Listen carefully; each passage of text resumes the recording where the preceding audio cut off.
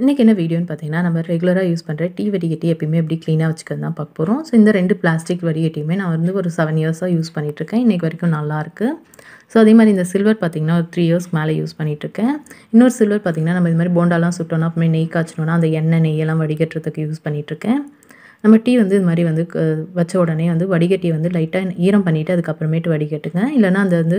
ரொம்ப ட்ரையாக இருக்கும் போது அந்த ஹோல்ஸில் வந்து டீ தூள் வந்து அடைச்சிக்கும். அதே மாதிரி வடிகட்டி முடித்த உடனே கையோடு இது மாதிரி வந்து கழுவி அந்த வேஸ்ட்டை வந்து தனியாக அந்த பாக்ஸில் போட்டு வச்சுட்டு உடனே வந்து கழுவிடுங்க நம்ம வந்து அந்த டீ தூளோட அப்படியே வந்து அந்த சிங்கில் போட்டு வச்சுருக்கும் போது அந்த டீ டிகேஷன் கலர்லாம் அதில் இறங்கி அந்த அந்த வடிகட்டி பார்த்திங்கன்னா ரொம்ப ஒரு மாதிரி அழுக்காயிடுது. ஸோ இந்த டிப்பை நீங்கள் ஃபாலோ பண்ணுங்கள்